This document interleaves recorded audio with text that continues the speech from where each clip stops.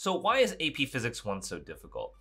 Right? How come only 8%, less than 8% of people are going to get a 5 on the AP exam whereas you look at like AP Calculus, like more like 20, 25% of students are going to score a 5, right? Why such the big disparity? Is physics ultimately harder than calculus? Not really, okay? So here's the thing. Physics like like I talked about the previous one, physics is really about the first time you've had to apply math in probably a meaningful way right? Like even when you do AP calculus, half of the test is just sort of computing things, almost like your times table. It's like take the derivative of this, do the integral of this. Can you do the mechanics of just straight up computation? And then like, you know, a portion of it is going to be like applying it, applying it into a, a scenario, taking a problem, breaking it apart. But in physics, every single problem is to dissect a problem into pieces. And you haven't had to do that before. You haven't had that cushion, even in your toughest math classes you haven't had to deal with that kind of that kind of rigor, that kind of like problem solving analysis you have to do that you have to do in physics. So that's one of the reasons. Probably the biggest reason though is it's not actually taught very well. and let me explain what what I mean by that. And, and keep in mind that I don't think I was taught physics very well. So let me just tell you a little bit about my story about the trajectory that it took me to go through physics. And it was not a easy it was not an easy path, right? So 11th grade, so so high school, biology, chemistry, physics, right? So ninth grade biology, 10th grade uh, chemistry, 11th grade, I take honors physics. Okay, my first exposure into physics. Pretty easy class, actually just understood some basic things. Then senior year, then I take AP Physics, right? By then, at that, that time it was called AP Physics B, but it's the predecessor to what is now known as AP Physics 1, AP Physics 2. A lot of topics, a lot of things thrown at you and um, but you know i had some exposure to you know with honors physics so i kind of knew some things already but a lot of new things in there and then i get to college and i take another physics class. I redo physics because i didn't take a calculus based physics class. I learned a more advanced physics class and that one kicked my butt. It was an honors physics class at berkeley. It was calculus based wow it really really it really found it hard. But you know like i had all those years beforehand to get to that point.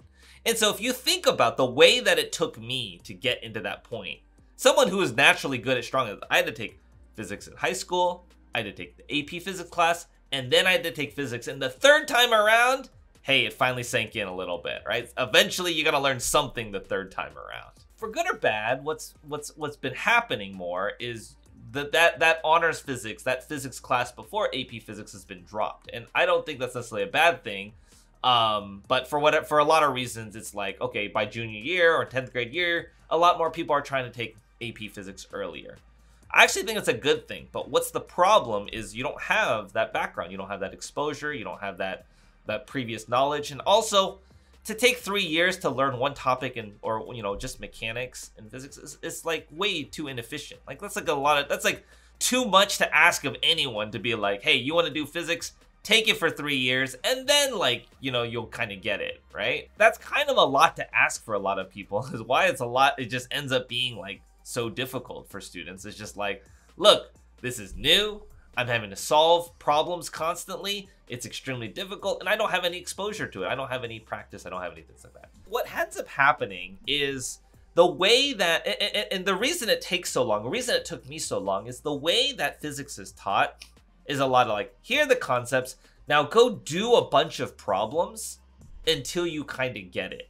Right? You just practice more. You just like, oh, you don't get it, just go practice some more. You don't get it, do a few more problems, then you'll get it, right?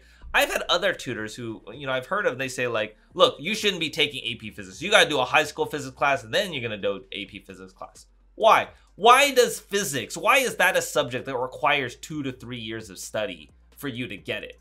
It's not because it's harder. That's a bunch of crap. Like that, that, that, that is not because harder. It's because the mechanism by which we train students in physics is really, really just inefficient. Okay, at, at its core, it's really, really slow to do that. And so what, what we want to do is find a way that it's a little bit faster, a little bit more efficient, rather than just say like, hey, go do a bunch of things. It would be the equivalent of me saying like, hey, you want to learn the piano? Go play the piano for 10,000 hours and then you'll be like, oh, you're pretty good at the piano now. Sure, you get there, but like, you know, it's to be a lot slower than if you have someone kind of be more explicit in teaching you things. And so what I like to do, what I've been focusing on is really just what are the skills you're supposed to be learning? And as we go through this series, that's what we're to be focusing on is how to improve the efficiency of how you learn physics. And not just by like doing more and more problems. Don't worry, there is a place for practice, but there has to be technique first. Right? If you're going to be a great tennis player, you, you you get you you focus on the fundamentals, the technique, then you go practice those techniques. I don't just give you a racket and you just go swing away and figure it out, right? And that's kind of the way physics is honestly taught right now. That's kind of the way that I see most of my students. It's kind of the way that I went through it. It's just like, here's the idea. Now go do a bunch of really hard problems, and eventually you'll kind of figure it out. Well, a lot of people don't figure it out. A lot of people don't do well, and a lot of people give up on it. And that's why I'm making this for you guys to, to help you understand that and to really find a better way. There's gotta be a better way for you guys to learn something that is fundamentally not actually that difficult.